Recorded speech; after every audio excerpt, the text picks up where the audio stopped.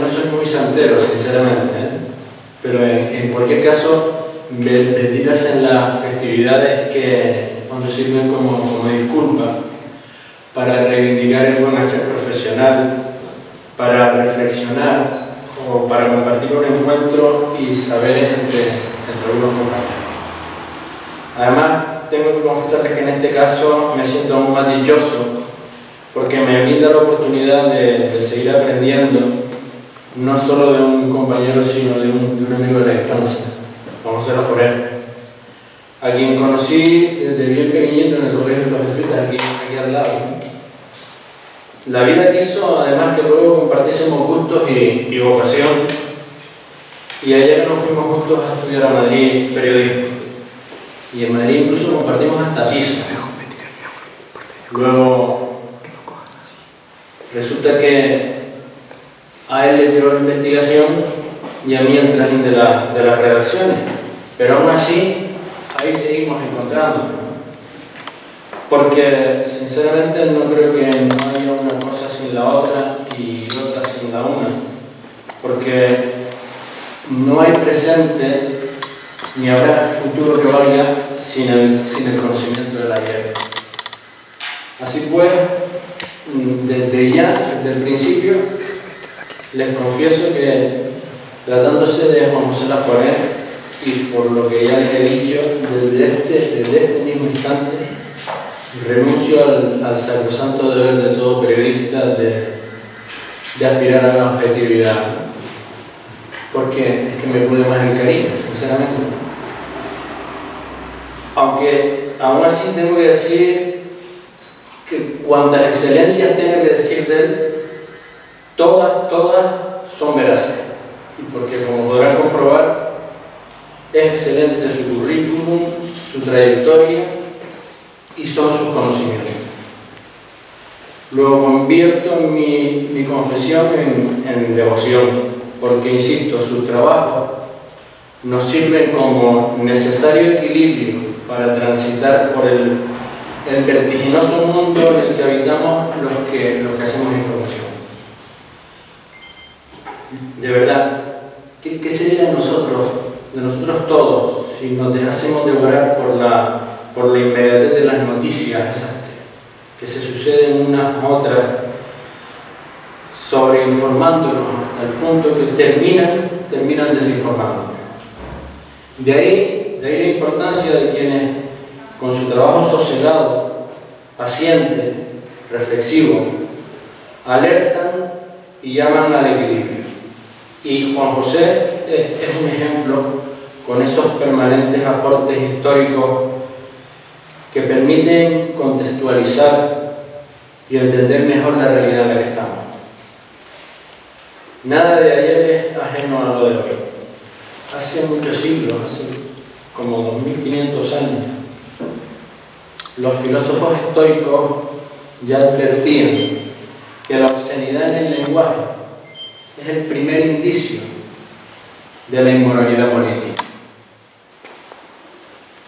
En estos tiempos en los que la descalificación se ha impuesto a la serena discusión y la ridiculización se impone al debate, es evidente que la sentencia de los clásicos vigente.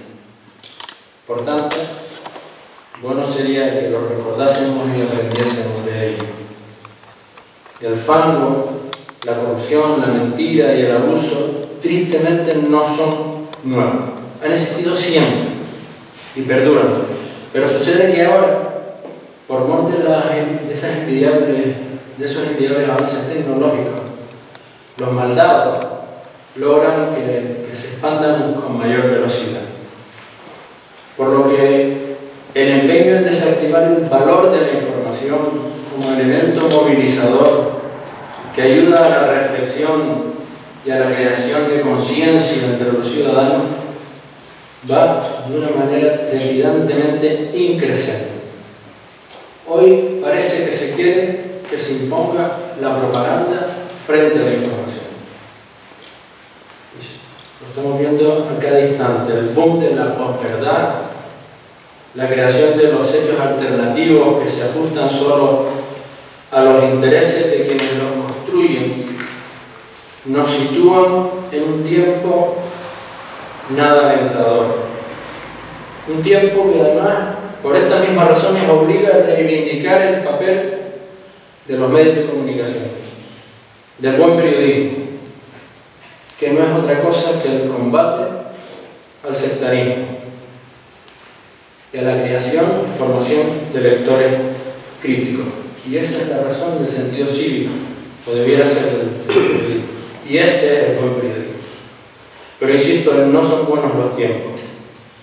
El periodismo hoy está seriamente amenazado por el reino del entretenimiento en exclusivo. Volvemos a los estoicos, a la obscenidad en el lenguaje y a la inmoralidad en la política. Seguro que todos tienen en mente demasiados ejemplos que contemplamos todos los días para volver a darle la razón a los clásicos. Y yo ahora me pregunto, ¿no deberíamos tener permanentemente presente que no hay un pueblo seguro y libre si no está bien informado? Parafraseando al, al, disidente dramaturgo que luego fue presidente de la República de Checoslovaquia cuando cayó el muro de Berlín, Václav Havel, podríamos preguntarnos otra vez, ¿no sería conveniente decirle a los que andan en las disputas políticas y de poder que más que importarle que gane su partido, su grupo o facción, lo deseable es que ganen los mejores en el sentido moral y cívico. Hablamos de hoy, estamos hablando, me estoy refiriendo a hoy. Pero la, la vida del periodismo nunca ha sido sencilla. Los periodistas siempre se la han jugado si criticaban o se critican. Y si no es así, son puestos en la picota si no, si no alaban lo suficiente. Por eso es bueno saber cómo, cómo la lidiaban antaño los que nos antecedieron en esta profesión, en estos tiempos, por cierto, bastante desestructurados. Por ello, no serán pocas y relevantes las lecciones que podamos sacar de lo que la nos va a enseñar. Porque, insisto, lo dicho antes, el hoy no será bueno y el futuro será peor sin el conocimiento del ayer. Y de eso él sabe un montón. Se trata de alguien, y solo voy a hacer un retazo muy breve de su biografía, porque si no se nos hace de día. Que es un canario, que es doctor en Historia del Periodismo y en Ciencias de la Información por la Universidad Complutense, con una tesis que tituló Bases documentales para la historia del periodismo en Canarias. Antes había hecho una tesina sobre los orígenes del periodismo en Canarias. Es también doctor en Derecho por la Universidad de Las Palmas, con una tesis que tituló Procedimientos del Ceremonial y Protocolo Judicial, máster en Periodismo por la Universidad de Las Palmas, con una tesina sobre el protocolo y medios de comunicación social. Además, es diplomado en estudios corporativos, cooperativos perdón, por la Universidad Politécnica de Madrid, técnico superior en protocolo de Estado Internacional, diplomado en protocolo por la Universidad de Oviedo, da clases en la Universidad de Las Palmas, también en la de Sevilla.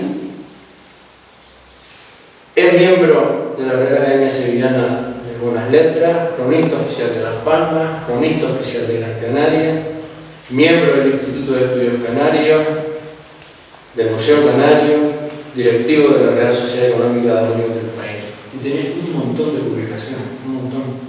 Algunas, orígenes del periodismo canario, orígenes de la imprenta en la provincia de Las Palmas, 100 años de Diario de Las Palmas, metodología por el estudio, para el estudio, metodología para el estudio de la historia del periodismo canario, Agustín Millares Torres y la Real Sociedad Económica de del país, protocolo y medios de comunicación social, y, y me voy a saltar un montón para, para abreviar.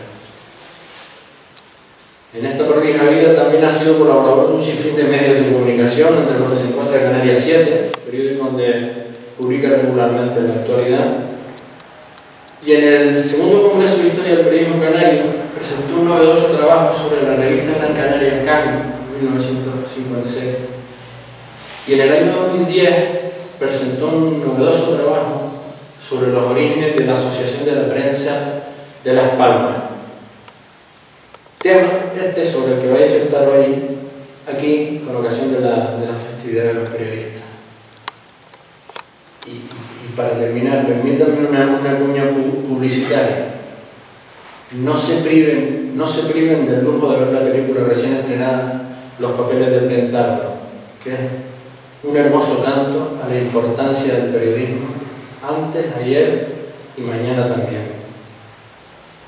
Y ahora sí, como José Foré, compañero amigo, tengo otra palabra.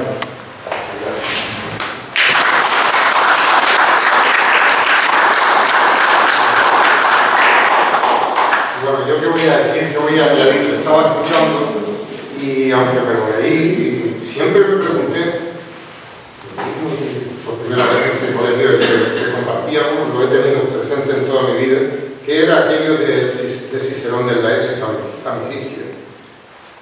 Creo que esta noche lo he comprendido mucho mejor al escucharte, Vicente.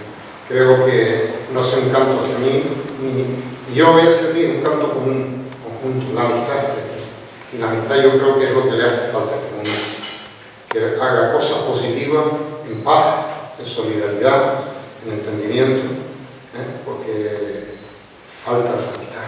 Nos estamos separando los seres humanos unos de otros en el día a día, nos estamos alejando la falta de, de, de lo que sea, que uno cree lo que quiera, pero por lo menos la amistad que llega, que nos lleve. Muchas gracias por recordarme tantas cosas de la vida y es una suerte poder tener con quien haber compartido una vida. Y lo que no me gusta es decirlo así ya, porque ya a los 60 años ya uno ya llevamos una vida ya bastante larga y recorrida, recorrida y, pero me emociona, la verdad que emociona y dice, bueno, pero ha, ha valido la pena. Gracias, muchas gracias. Bueno, mmm, lo decía, a mí me llamó Antonio y Para este tema de hoy. Me decían, ya han intervenido de, en estos años atrás, pues de cada periódico, de cada emisora, unos, unos, unos representantes, ¿verdad?, que hablan de aspectos especiales. Y a mí, ¿de qué me toca, de qué puedo hablar? Y me acordé, me acordé de esto. Hombre, pues en el núcleo de la, en el seno de la comunidad periodística, en el día de esa festividad que tradicionalmente se ha venido celebrando como Día del Periodismo, como el día, su polémica y cosas, pero al final siempre ha habido un grupo que lo ha venido celebrando. Digo, ¿qué, qué mejor hablar del propio periodista? ¿Quién era el periodista? Me ha encantado la reflexión que ha hecho previa, porque eh, puede ser mi preámbulo, mi preámbulo eh, prolongado en el tiempo. Esa, esa historia long durée que Braudel decía, que se proyectaba, siempre el pasado está proyectado construyendo el futuro, aunque no lo creamos, siempre el pasado está proyectado construyendo el futuro. Ese futuro puede ser nuestro presente de hoy, que coge, un, un, pasado que se está proyectando en él. Bueno, a mí me, me motiva y casi digo, ¿qué parte de la conferencia insisto más e insisto menos? Porque todas no la voy a dar. Yo tengo como guía la, eh, ponencia esa, eh, podríamos amanecer aquí. Porque, ¿Por qué? Porque eh, hablar de la asociación de la prensa me voy a quitar esta gafa porque eso es... Yo recuerdo que Néstor Álvaro me decía que había sido, que le llamaba un profesor inglés el último mártir de la Inquisición, porque había perdido la vista leyendo documentos. Llega a tener un ordenador no le queda ni la cuenca del ojo porque el ordenador te destroza todo. Entonces, eh, digo, ¿qué parte podría decir? Bueno, es un tema que no se ha tratado, cuando yo lo escogí para el Congreso de Historia del Periodismo, igual que esa revista cabildiza que mencionaste, un ejemplar maravilloso, del cual solo quedan dos ejemplares por ahora que he encontrado. Uno está en la biblioteca pública y otro dirá, y este, este, cómo va recopilando cosas, yo no lo tengo ya. lo conseguí de casualidad en subastas trianas, el sitio que había hace años, compré un montón de, publicaciones por cuatro duros y empecé a buscar, y al final han aparecido cosas increíbles. Y está esa revista que eh, es clave para entender mm, en lo que pudiera ser el periodismo oficial en la época del, franquismo, ¿no? en la época de los años 50. Pero como junto, bueno, entonces voy no voy a contar porque les cuento la otra ponencia. Déjenlo ahí, que está esa, esa ponencia. Y el otro que yo también adelanto, aprovecho para publicitar algo, el día 7, en la económica, que es su 242 aniversario, fue el primer empresario de imprenta de esta provincia, porque la primera imprenta la trajo la económica a final del siglo XVIII. Eh, se imprimió el correo político y militar de la ciudad de Córdoba, de la cual yo he hecho un estudio, una ponencia, que cuando llego a Córdoba me encuentro que me reciben como pobladores. Yo iba a una cosa secreta de la universidad, estaba el alcalde y tal, ¿qué ocurría? que habíamos encontrado aquí en Gran Canaria el número uno del primer periódico de Córdoba, el Correo Político y Militar de la ciudad de Córdoba, que los franceses se encargaron de, destruir, desapareció, pero nosotros lo reimprimimos. Quedaba un, ejemplar en el Museo Canario, con el que yo trabajé originalmente, otro en Buenos Aires, con el que le aseguro que no he podido ir a trabajar, solamente tengo la referencia, pero igual, porque sí me mandaron fotos y ahora la económica, en un coleccionista de Mallorca, ha logrado comprar un ejemplar. Y lo tenemos ya en casa, en la económica, y lo presentaremos el día 7. Bueno, pues este tema de la asociación de la prensa de, de cualquier sitio no ha sido muy tocado, no ha sido demasiado estudiado, y aquí menos en Las Palmas, siempre ha habido su duda. Entonces yo me lo planteé. Como todo tema, hay que plantearse primero por qué surgen las asociaciones de la prensa a qué se refieren las asociaciones de la prensa.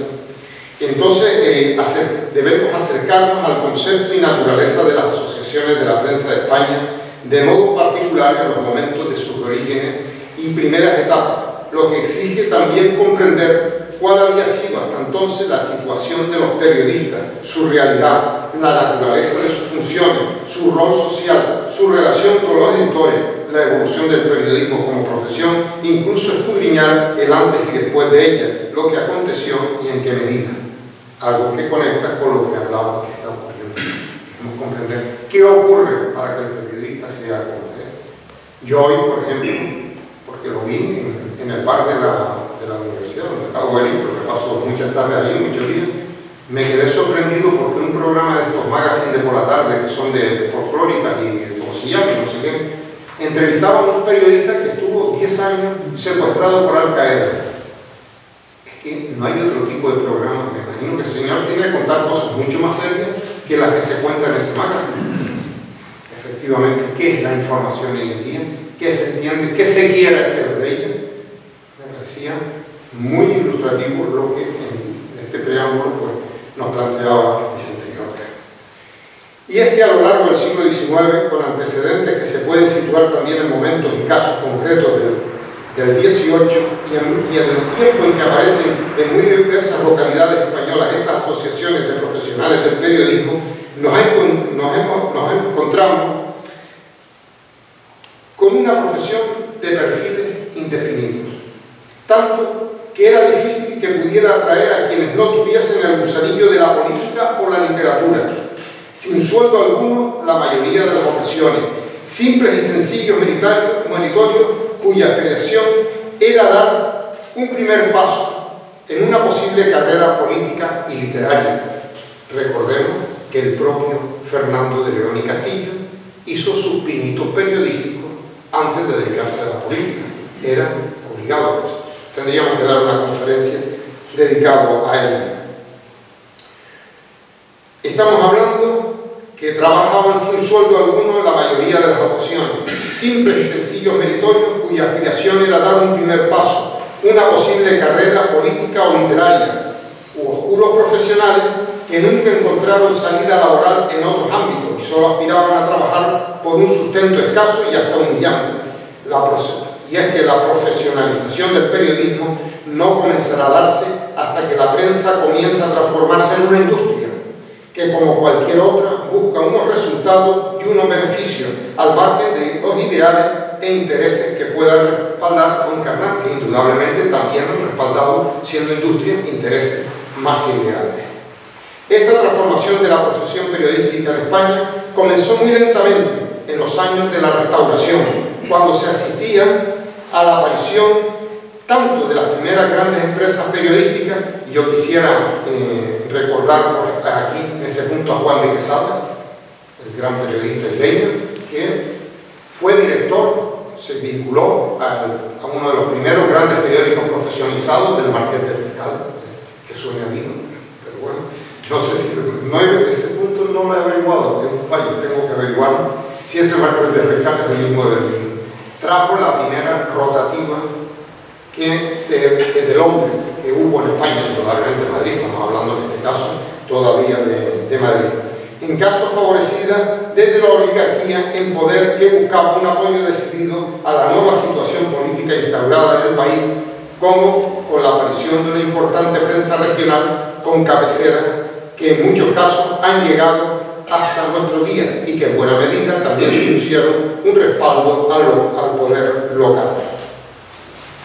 Sin duda alguna, y como se ha señalado en más de una ocasión desde la misma mesa de las asociaciones de la prensa de España, desde el comienzo de su camino, estas asociaciones lo que trataban era de profesionalizar un oficio poco reconocido hasta ese momento, para lo que incluso se buscaron modelos en otros ámbitos y lugares con una profesión mucho más desarrollada y prestigiada socialmente. Junto a ello, aunque de forma tímida aún y no exenta de reparos y todo tipo de dificultades, también se procuró dar una cobertura de protección a los profesionales, en especial a la gran masa de humildes y desconocidos periodistas que formaban un grupo siempre en oposición a los directores y más reconocidos articulistas, con el establecimiento de algún Montepío, con cierta cobertura sanitaria o ayudas para la jubilación o para los huérfanos, que va a ser algo muy habitual ya en las asociaciones de la prensa, que es el tema de hoy, mm, de la época del franquismo y lo que quedó después, ya en la actualidad no hay, no hay nada de esto. En ese tiempo finisecular entre los siglos XIX y XX en el que surge e inician su andadura las más antiguas asociaciones de la prensa de España, y si nos atenemos a los datos que da Monervi y que recaban Juan Francisco Fuente y Javier Fernández Sebastián para su historia del periodismo español, circulan en toda España 580.000 ejemplares de periódicos políticos 236 monárquicos y 137 republicanos y 8 sin filiación, pero fíjense como todavía la prensa independiente no, no cuaja, un 60% de la tirada global era monárquica y un 40% republicano, aunque los lectores solo suponían una cuarta parte de la población. Eso es importante. Aquí incluso llegó a haber muchos periódicos, algunos no pasaban de ser hoja volandera, pero ¿quiénes los leían? Hay, un apartado en eso, ¿eh? y yo también en algún congreso he tratado de, reflexionar sobre ello. La lectura popular de la prensa. Porque siempre decimos esto fríamente, y esto es un debate que tuve con María Dolores Ay, que fue profesora mía, y, dirigió mi tesina, mi trabajo de tesina. Digo, sí, pero había una, una, costumbre, que era en barbería, tienda, el leído, cogía el periódico y a la tarde mientras todos se echaban un pico de ron en Canarias, lo que fuera en Murcia, leía el periódico para los demás. Y eso, claro, también tiene sus problemas, porque ¿qué leía? Lo que él entendía que debía leerlo, según su ideología, si había alguna cosa no conveniente, no se leía. ¿eh? O sea que todo tiene, o sea que eso también habría que estudiarlo y leerlo, ese componente tiene. Eso se proyecta hoy en día en la prensa pues mire, le voy a decir que me gustaría estudiarlo también, porque el periódico, yo lo compruebo en muchos, en muchos bares, de mañana, hay un periódico que se convierte en motivo de tertulia, se lee conjuntamente entre varias personas y opinan sobre lo que están leyendo. Eso lo he percibido en muchas gente. Bien, no es el tema, en todo caso, que nos voy a Tengamos en cuenta que también otras ciudades, en aquella época de la Revolución y en el siglo XX, comienzan un crecimiento espectacular para lo que ha sido su historia hasta ese momento, como es el caso de la que nos ocupa, Las Palmas. Digo Las Palmas porque de Gran Canaria no fue hasta 1939. que verá cómo la construcción de un gran puerto en la Bahía de las Isletas, el puerto de la Luz, y la intensificación de las actividades mercantiles de todo tipo y hasta turísticas propician una destacada expansión urbana y un notable aumento de la población. Pero es también en esa, época la del desarrollo y auge de la prensa regional, como decía, en la que se reflejarán casi las mismas características de la prensa de las grandes ciudades como Madrid y Barcelona. Es el momento en que nacen cabeceras destacadas, que han perdurado muchas de ellas hasta hoy o hasta final del pasado siglo XX, como es el caso del Diario de Las Palmas, Heraldo de Aragón, Correo de Andalucía, Diario de Ibiza o Última Hora de Palma de Mallorca, entre otros muchos. En la Gran Canaria de mitad del 19 se da un curioso y útil precedente para la reflexión sobre lo que fue la profesionalización del periodista en la siempre llamativa figura de Agustín Millares Torres, que en una parte de su vida ejerció el periodismo casi como la única forma de actividad laboral que tenía, antes de poder acceder a notario o registrador. Agustín Millares Torres, ustedes saben, se dedicó a trabajar en el ómnibus, en el Canario, y llegó un momento, no, me lo saco yo de la manga, lo cuenta él mismo en sus memorias, dirigía el ómnibus y lo llama otro empresario de imprenta porque lo promovía los que tenían imprenta, los periódicos no tenían su propia Hombre, a mí me interesaría, no, usted no me puede dejar tirado, yo tengo que tener un periódico también porque eso da perra, está ahí, que me lo hace, usted que sabe aquí, no sé qué. Y dice, y me vi en más de un día en que en un periódico me contestaba a mí mismo lo que había escrito en el otro, para que hubiera, para que hubiera poner. Bueno, dice, con las flores hubiera dicho más por nada. Entonces, él, eso me hizo pensar a mí, bueno, nos encontramos con un primer caso en que realmente un caso de profesionalidad. Le dediqué también una ponencia eh, a este tema a Agustín Millares Torres, primer periodista profesional en en un coloquio de historia canario-americano, creo que fue ahí donde lo No sé si me dan también ya la idea. Miguel Torres se presenta en el conjunto de su, biografía como un verdadero profesional del periodismo, aunque luego pasar a ser un colaborador fijo y habitual al tiempo que asesor experto de muy diversas publicaciones de su isla natal, al igual que se mostró como un primer estudioso a nivel local del papel que jugaban los periódicos y los periodistas en el seno de la sociedad y en el progreso material de la isla, lo que le llevó a exponer reflexiones de enorme interés para la época y a investigar la aún entonces reciente historia del periodismo insular. Es muy curioso. Él publica en el periódico una primera historia, y no solo historia, sino que reflexiona cuál es el papel de la prensa en las sociedades contemporáneas, un poco lo que Vicente acaba de hacer para la sociedad del siglo XXI, se lo planteaba Millares Torres para la sociedad del siglo XIX.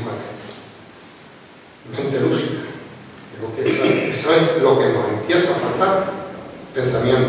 Hoy, hoy ayer por menos me, han llegado, me ha llegado la invitación para una revista de pensamiento voy a suscribir porque es que ya no quedo casi revistas de pensamiento. piensa. No existimos porque no, no pensamos. En este curioso precedente de Gran Canaria, Millares Torres encarna a un periodista que junto a su vocación y a sus ideas supo encontrar un espacio legítimo para desarrollar una actividad como profesional en un entorno empresarial incipiente en el que los propietarios, ambos impresores, buscaban la rentabilidad de periódicos que al ofrecer unos contenidos de interés gracias a la dirección de un profesional atrajeran, mm, atrajeran el favor de los suscriptores de, manera que podemos considerarlo hoy como verdadero periodista profesional, quizás el primero de las palmas de Gran Canaria. Yo voy a coger prestado, si no me importa, esta maleta a modo latín, para apoyar un poco la... Primera eh, experiencia asociativa de España se dio en Málaga en 1877 y en 1882, aunque previamente en 1875 se constituyó de modo efímero una liga de la prensa de Málaga que hoy se tiene como la primera asociación de la prensa creada en España y que recoge las crónicas a la Unión de la Prensa Malagueña creada el 16 de mayo de 1877. Ya la siguiente, la siguiente asociación malagueña sería en 1882. Tras esa experiencia, habrá que esperar tras esa experiencia habrá que esperar a Madrid. Perdón, esto estoy haciendo yo no sé si fue mejor el remedio que la Como ya se apuntó, a lo largo del siglo XIX, los periodistas madrileños, en su mayoría, al igual que casi todos los de otras localidades españolas, trabajaban en publicaciones de muy diverso signo, carácter y duración y percibían por su trabajo una mínima retribución e incluso en casos ninguna, sin estar amparados por ninguna norma laboral ni por ningún estatuto que definiera la profesión que ejercían. Ante ello, algunos periodistas, conscientes de la terrible situación que afectaba a su profesión en el ámbito de un periodismo comenzaba a crecer, encabezados por el director del Globo, el famoso periodista Alfredo Vicenti, que tiene estatua en, en Madrid, un médico gallego que había cambiado el fonendoscopio por la pluma, acordaron asociarse para defender sus derechos. Después de diversas reuniones en la redacción del periódico que dirigía Vicenti, que sería el verdadero principal impulsor de la asociación que iban a ser, se elaboraron unos estatutos que fueron aprobados por los primeros 173 socios, fundadores, entre los que ya figuraba una mujer, Jesusa Granda, maestra y redactora de obituario y temas educativos del mencionado periodo. Yo me permito, porque estoy emocionado, recuerdo que la primera vez que me publicaron un artículo fue en el Eco de Canarias. Y yo fui muy porque me lo habían publicado en la página de las escuelas. Y oiga, mire, ¿usted sabe cuántas noticias hay en el mundo? Y si usted sabe, pues millones, millones. ¿Y cuántos caben en las páginas del periódico? muy pocas, después, indudablemente. Primer punto, pues que le pongamos ya su artículo y habrá que ha habido que dejar noticias fuera. Y segundo, no sea tonto. ¿Cuál es la página que más se lee aquí de entrada todos los días? Los, los obituarios tráigame el artículo del siguiente otro día y a ver si lo pongo. O sea que doña Jesús Sagrada sabía lo que hacía. Los estatutos establecieron la Asociación de la Prensa de Madrid y ponían como condición para pertenecer a la misma que había que ser, fíjense ustedes, periodistas en activo. ¿Qué se entendía entonces por activo? Porque ¿quién definía quién era activo y quién no era activo?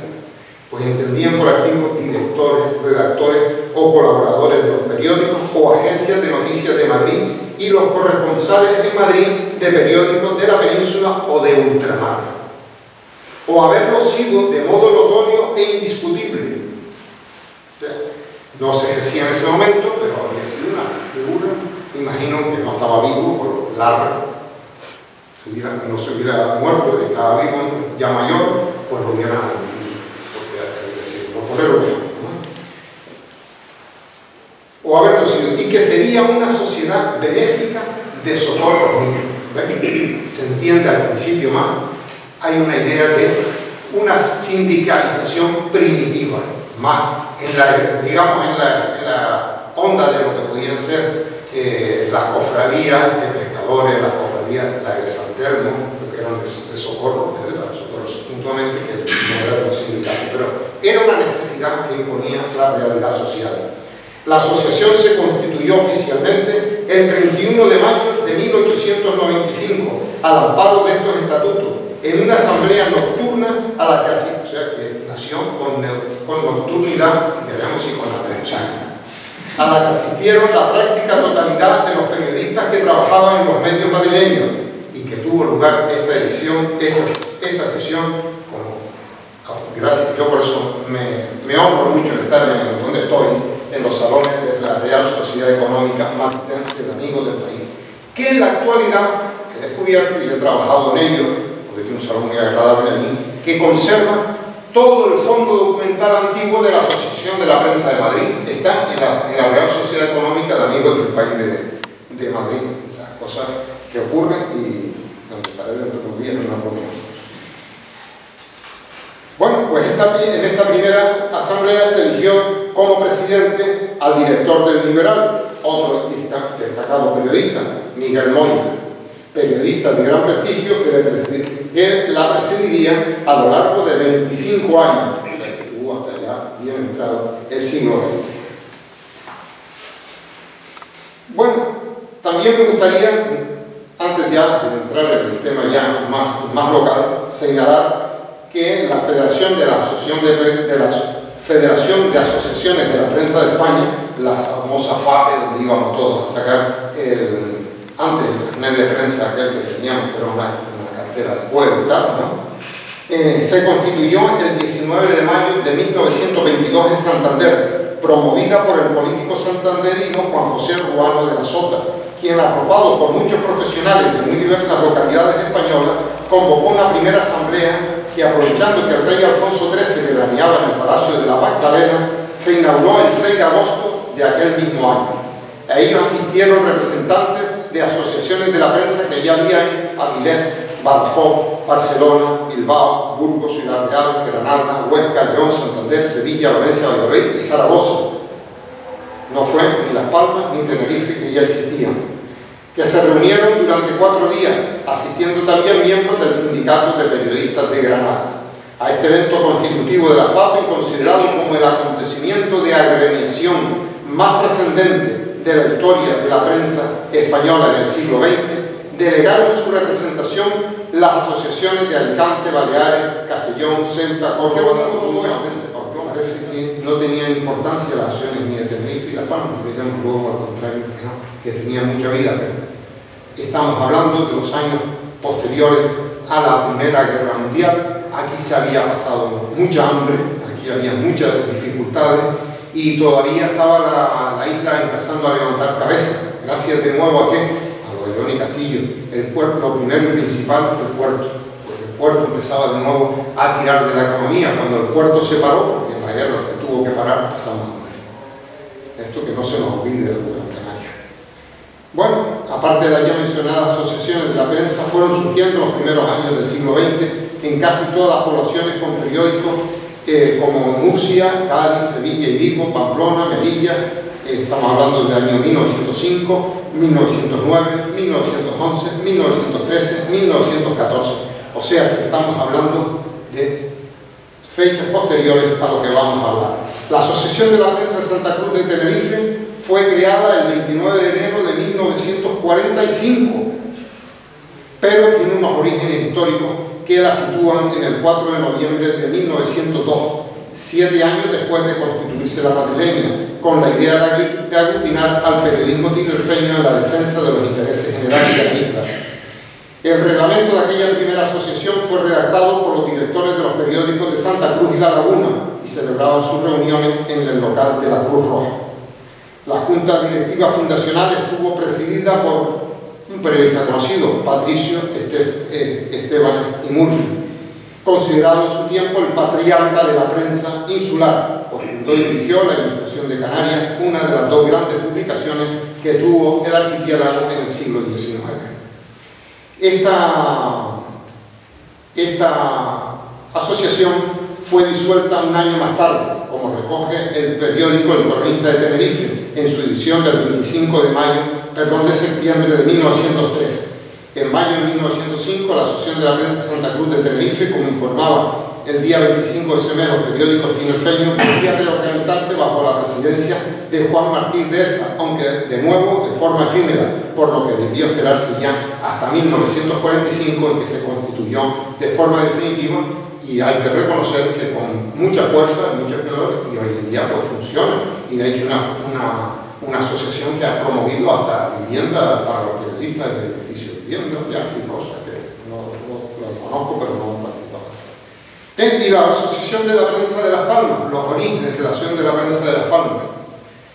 Pues la, la, primera aparición de la Asociación de la Prensa de Las Palmas de Gran Canaria en el ámbito periodístico insular se da en una fecha muy temprana en el conjunto de las asociaciones de la prensa de toda España, apenas tres años después de que en Madrid Alfredo Vicente impulsara la creación de la madrileña bajo la presidencia de Miguel Moya en 1895 y del último intento de los pasos pioneros dados por los periodistas malagueños que ya se han señalado en el apartado anterior, constituyéndose con ello en la primera y decana de todas las asociaciones de la prensa de Canarias, esta asociación, a lo largo de más de 100 años de vida, en los que también disfrutó de los beneficios que le reportaba durante décadas la salida a la calle de una hoja del lunes, que todos recordamos, y unos servicios de protección y asistencia a sus asociados, así como las actividades públicas y culturales, fue en realidad como un guardián isleño, pues vivió momentos de esplendor, épocas de normalidad silente y largas décadas de silencio e inactividad, aunque sin llegar a desaparecer formalmente, dado que siempre mantuvo al frente un presidente y una mínima junta directiva que representaba a unos asociados que han querido permanecer en ella.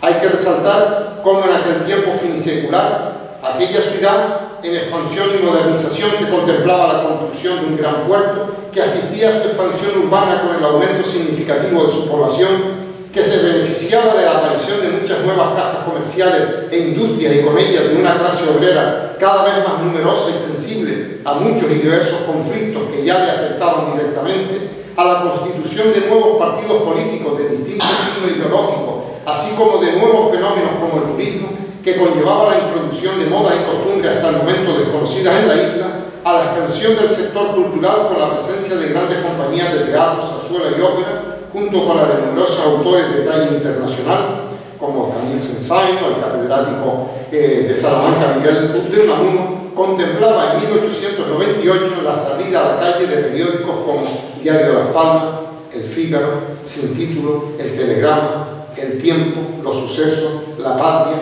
El Cronista, España o El Atlántico. Indudablemente, sin un estudio minucioso, directo y claro del periodismo de la época, que era, qué, periódicos eran esos, cómo se venía a la calle, que se imprimían, que buscaban, no se entendería, porque claro, en el común empezaríamos a pensar que los periódicos como puede ser hoy en día Canarias 7 o La Provincia, no, los periódicos profesionales, y como había tantos en La Palma y había con tan poca gente, estamos hablando poco menos que de hojas volanteras, el telégrafo era una hoja por delante y por detrás y se limitaba a coger todo lo que venía por teléfono, o sea, repetía, ¿no? Todas estas cosas. Y se hacían las imprentas que ya existían y a lo mejor se editaban 100 ejemplares, era por sector, ¿verdad? Entonces, eso, eh, pero bueno, ahí estaba. Había un movimiento y detrás de ello había personas que estaban, mm, que estaban interesados en el periodismo.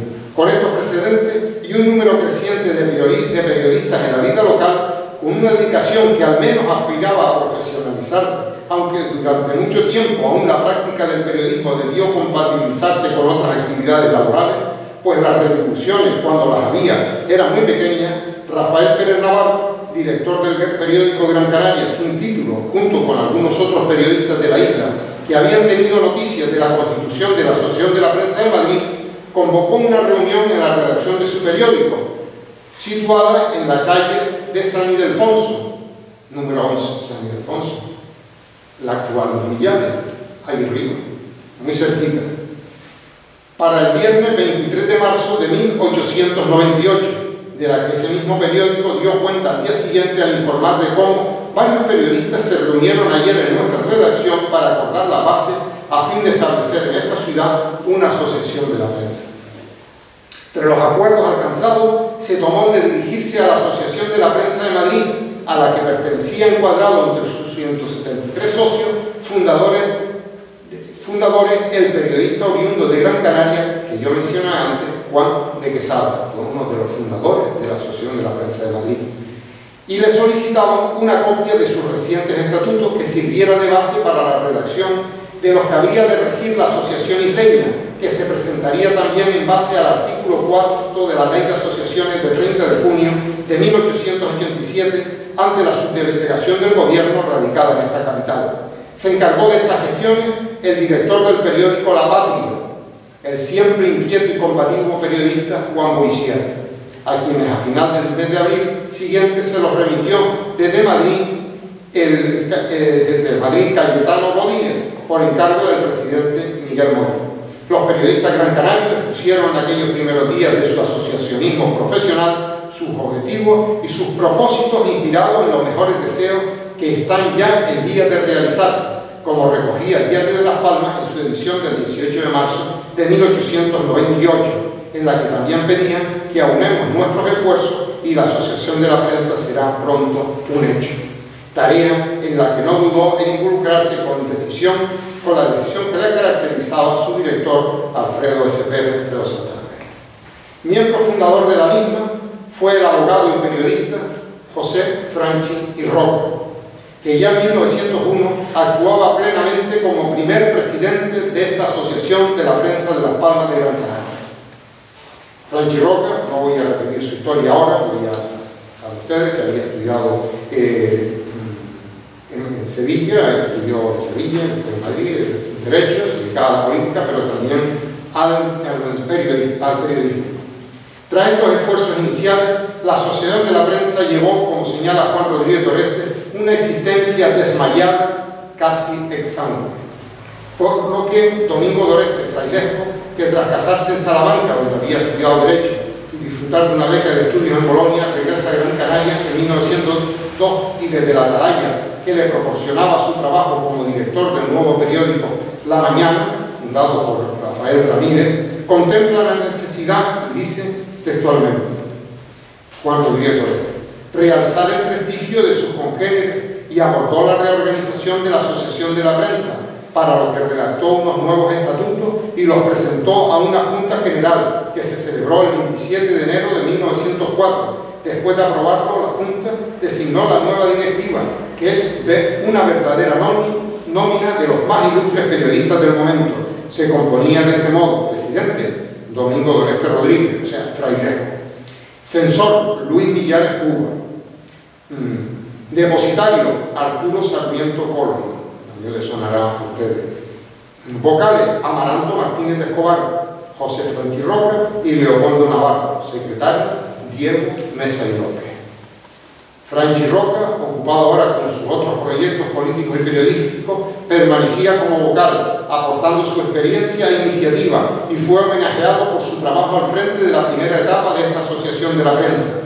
Por su parte, Frailejo, que había traído al periodismo canario una sólida formación humanista y una vasta cultura, quiso darle aquí a la profesión una dignidad y una categoría intelectual como la que ya hacía tiempo había asumido el periodista europeo. Por ello, una de las primeras iniciativas de esta nueva Junta Directiva fue organizar un amplio ciclo de conferencias que abrió el 24 de marzo de 1904 el mismo Frailejo para referirse a la cuestión social tema al que dedicaría en adelante mucho tiempo de estudio y reflexión y nuevas conferencias dentro y fuera de Canarias, en una época en la que Las Palmas de Gran Canaria desarrollaría una labor, una extensa playa de importantes periodistas como fueron, quiero mencionarlos además como homenaje de recuerdo, González Díaz, Francisco González Díaz, Suárez Falcón, Prudencio Morales, Amaranto Martínez Escobar, Amarante Alfredo Soler, Eduardo Mínez Ingló o José Mayoli y Lorenzo. Todos compartiendo la idea de su presidente de que era imprescindible mantener incólume el prestigio tan necesario para la autoridad moral de los organismos que viven de su relación inmediata con el público, como de dar al periodismo isleño una capacidad de trabajo y una identidad, lo que sin duda se consiguió, al menos durante una espléndida y extensa época, en las primeras décadas del siglo XX. Quizás por todo ello, también estos nuevos estatutos exigían para ser admitidos como socios el ser periodista en activo o haberlo sido de una manera notoria o indiscutible. Asimismo eran considerados periodistas en activo los directores, redactores y colaboradores de los periódicos que se publicaban entonces en Las Palmas, aunque siempre que a juicio de la Junta Directiva merezcan tal nominación. Había quien ejercía de escribiente en periódico que no merecía ser considerado periodista. Una vez más aparecía el controvertido asunto de la definición y concepto de la profesión periodística, que no quedaba bien definido en un texto y se dejaba en manos del criterio de otros profesionales en representación de una asociación gremial. Sin embargo, sí se debe matizar que estos nuevos estatutos en realidad son, y como se señala explícitamente en la página 19 de la edición que de ellos realiza la imprenta y litografía Martínez Franchi en 1904, antes de las rúbricas del presidente Domingo Doreste y del secretario eh, Diego Mesa López, una reforma de los primitivos de esta asociación. Y ya casi al final de la dictadura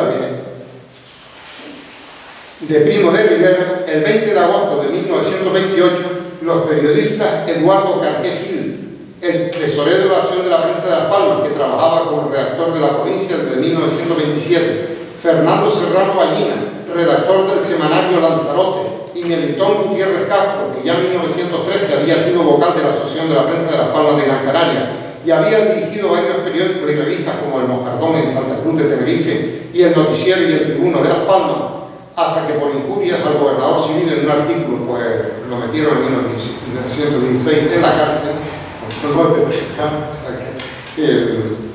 este, pues cursan al gobierno civil la solicitud de constitución de una nueva asociación de la prensa de la provincia de Las Palmas, que ampliaba así su ámbito de actuación de la ciudad de Las Palmas de Gran Canaria, que tenía inicialmente al ámbito de la provincia, surgida tras la división del archipiélago canario en dos provincias. La asociación nace siendo, por eso yo te hablaba de la Asociación de la Prensa de Las Palmas de Gran Canaria, aunque Las Palmas no se llamaba así entonces, pero era para no confundir esto. Primero fue Asociación de la Prensa de una ciudad, como era la de Madrid, la de Sevilla, y a partir del 27 pasó a ser, pero era la misma, Asociación de la Prensa de toda la provincia. En esta etapa de renovación, la asociación pretende, según hace constar en los nuevos estatutos, ser una sociedad de periodistas cuyo fin principal es velar por los intereses morales y materiales de la clase y el decoro de sus miembros. Era muy importante, a veces eran considerados ciudadanos de segunda, siempre hemos oído hablar del, del, bolsillo con el papel de estraza en los cócteles y, y estas cosas. ¿no? Bueno, pues el decoro, buscaban que la gente viviera con dignidad. Esto pues, se, veía, se veía muchísimo. La reunión constituyente se celebró el 5 de septiembre de 1928 en los salones del Círculo Mercantil de Las Palmas, en la trianera Plaza de San Bernardo, donde quedaría establecido provisionalmente el domicilio social de la asociación. En esta reunión, en la que se nombró como presidente honorario, pero fuera de la primera asociación, José Franchi Roca, se eligió su nueva junta directiva que quedó constituida de la siguiente manera. No voy a leer todo, por sí, algunos porque son significativos. Presidente, Francisco González Díaz. La talla moral de categoría que tenía, indudable. Secretario, Luis Marrero Grande, que en 1930 pasaría a ocupar la presidencia. Bibliotecario, otro ilustre de la Asociación de, Periodismo Insular, Domingo Doreste Rodríguez, frailesco. Tesorero, Ernesto Pérez Miranda, hermano del, anterior, eh, hermano del fundador, al que sucedió la dirección del periódico. Contador, Ventura Doreste Alonso, padre del célebre literato Ventura Doreste. Vocales, Pedro Santana Padilla, que fue director del periódico La, la, la Crónica, estaba Domingo Maciú Rodríguez, periodista y abogado, director del Liberal, y Luis Benítez Ingló también estuvo en esta asociación de la, de la prensa. En 1931, bajo la presidencia de José León Santana, una, una destacada literata isleña, colaboradora habitual en la página de la prensa, Josefina de la Torre, entraría a formar parte de su directiva como vocal. la Torre fue también directiva de la Asociación de la Prensa y en 1933 será presidente Francisco Jiménez Pérez y el 16 de marzo de 1936 se constituye una nueva junta directiva presidida por Domingo Navarro Navarro. Sin embargo, tras los sucesos iniciales de la guerra civil, el 22 de septiembre siguiente, solicita de la autoridad gubernativa el permiso necesario para celebrar una reunión en el Circo Mercantil en la que se propondrá renovar de nuevo la Junta Directiva y establecer una comisión reorganizadora de la asociación acorde a los nuevos tiempos y usos legales y administrativos vigentes entonces. Y en ese momento, lo Colorado, se acabó el cuento de la ciudad de la prensa, hasta ese momento ya se constituiría otra de forma oficial, pero es la misma, sigue la misma, pero acorde a las nuevas normas. Pero antes de todo ello, en los comienzos de los años 30 y con ellos de la Segunda República, se dan disensiones graves en el ámbito de la prensa y de la asociación. Todo no fue un camino de rosas, todo fue maravilloso. Lo que provocará que un grupo de periodistas próximos a los editores e integrado también por muchos de los directores, presenten el 18 de junio de 1932 en el gobierno civil unos estatutos con los que el 1 de julio siguiente constituirán otra asociación denominada Asociación de la Prensa Diaria de Las Palmas ya había disensiones, había tendencias ideológicas dentro de la asociación y los editores. Tampoco es extraño, lo hemos vivido hoy en día, las asociaciones, los colegios profesionales de periodismo, una serie de agrupaciones de periodistas y la Asociación de Editores de Prensa de España, que es un poder fuerte. Ahí siempre ha habido una lucha, no vamos a entrar en esa dinámica, no es mi tema, pero daría para mucho que hablar. Yo nunca olvidaré un congreso de la Unión de Periodistas en Valencia, que participé hace muchos años, más como oyente que otra cosa, pero a mí lo que me interesaba siempre es oír para tomar nota, por eso quizás somos cronistas y no participantes, pues se veía esa, esa, esa lucha eh, enorme entre periodistas y editores. En fin, yo no quiero alargarme, no quiero alargarme muchísimo más.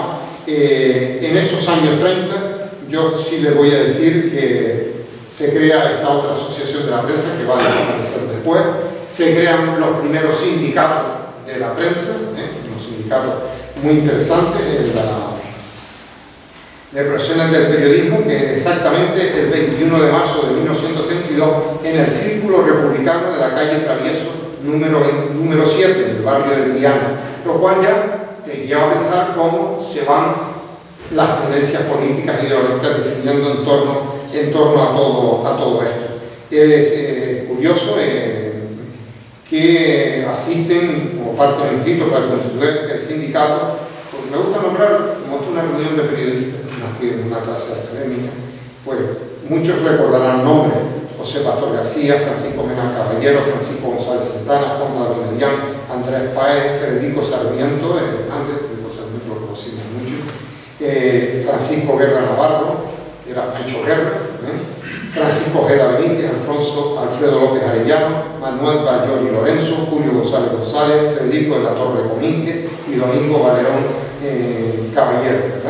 Ahí intentaron meter de presidente a Eduardo Benítez Ingló, que tenía un papel preponderante en la prisión, pero Eduardo Benítez Ingló cambió un poco el temporal y no puso comprometerse, comprometerse, comprometerse mucho. En fin, con estos acontecimientos y los que se desarrollarán hasta 1936, podemos concluir en que se culmina una primera gran etapa de la historia de la Asociación de la Prensa de Las Palmas, en un tiempo también de enorme trascendencia para la historia del periodismo canario. No olvidemos, creo que es una época de oro, esa época del final del 19 hasta, hasta el año 36, año de primeras décadas del siglo XX, auténticas grandes plumas en un periodismo una fuerza enorme que además lo importante marcó, significó, representó, las cabeceras representaban y la población estaba verdaderamente identificada y representada con ellos. Yo entiendo la trascendencia que pudo tener esa honra los periodistas cuando veo casi todos los días, voy a, mis obligaciones, las casas consistoriales allí, la gran placa puesta don Rafael Ramírez y Doreste. Es una placa, no lo que ponen por ahí en la vida del cementerio de la Mala, en muchos sitios horrorosos, labrada, y se, no se destaca por abogados, sino por periodistas. Y eso es la honra de la procesión. ¿eh? Entonces, es un momento muy significativo. Y, ver que una población, ¿eh? o sea, la inquietud que tenía que tener una población para que tres años, tal que teníamos, tres años después, de que se creara la de Madrid, ya se estuviera proponiendo la creación aquí de una asociación de la prensa y se constituyera y trabajara. Le costó arrancar, le costó, y, pero tampoco fue mucho tiempo, porque ya en el, eh, Gino Freidesco, en pocos años, le dio, no solo la renovó su impulso, sino le dio una idea, esa cuestión social, hacia afuera, en dirección externa, el periodista debe estar por la cuestión social y hacia el interno la definición de qué debía ser el periodismo. Cómo se va consolidando en los difíciles momentos de la Primera Guerra Mundial contribuyó mucho al sostenimiento de la profesión periodística. En la República, se, en el tiempo de la República, pues fue lo que era la sociedad, una sociedad dinámica, cambiante, que buscaba reformas, que entendía que no tenía por qué haber una sola asociación, lo que hoy, lo que somos hoy en día, muchas asociaciones, el mono, no, ser monolítico ¿eh? en una sola, fue referente de su tiempo. Y yo creo que hoy, que celebramos esta festividad del periodismo, debemos honrarlo, honrar la memoria y estar felices de contar con un capítulo de la historia del periodismo que tanto honra, dignifica y señala a la profesión periodística en la isla de Gran Canaria. Y retomo a Braudel, lo esa proyección yo creo que se proyecta en la actualidad, donde también tan buenos profesionales están dando el, todo por sacar adelante la profesión en un mundo tan difícil, si no mucho más que de aquellos entonces. Muchas gracias, perdón por alargarme, pero creo que esto es, además de un recuerdo histórico, un homenaje a la profesión periodística. Gracias.